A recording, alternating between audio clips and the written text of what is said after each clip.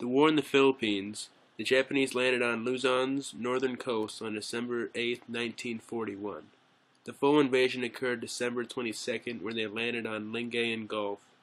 MacArthur attempted to defeat the Japanese on the beaches, but he overestimated the ability of his troops. The Japanese also landed on the southeast coast of Luzon. The Allied troops were now surrounded to the north and the south. MacArthur was now left with two options. He could either withdraw into the mountains or make a stand at Bataan Peninsula. He decided to defend the peninsula. He held the peninsula for almost three months, but was finally overrun on May 5, 1942.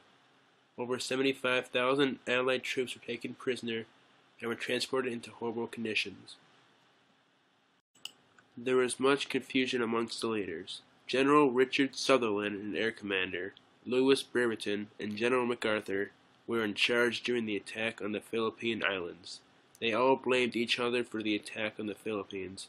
Each general had an ample warning of the attack on Pearl Harbor. Commander Brereton even tried planning a bombing raid on Formosa. The bombing did not take place because MacArthur was too busy to give permission. The reason the march actually took place was because there was a breakdown among the Japanese arrangements for transporting and feeding the prisoners. They were expected to take no more than 25,000 prisoners, but they actually took close to 75,000 prisoners. The march included 72,000 prisoners, and they were marched 55 miles from the southern end of Bataan Peninsula to a railhead in the Philippines on April 9, 1942.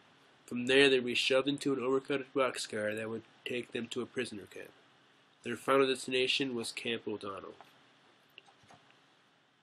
The conditions that were involved in the march were some Japanese soldiers actually showed kindness, but most soldiers practiced extreme brutality on the prisoners. The prisoners were also given little to no food or water.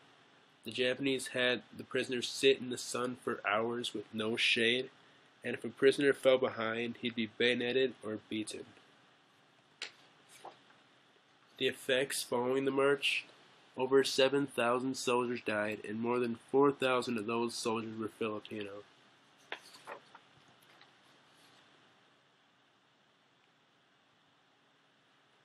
The march angered the U.S. The U.S. was infuriated by the by Pearl Harbor, and the anger escalated greatly from the march and as well as the deaths of the POWs. This image was used in extreme propaganda for the American people. It showed the brutality of the Japanese soldiers, and it convinced people to support the war effort.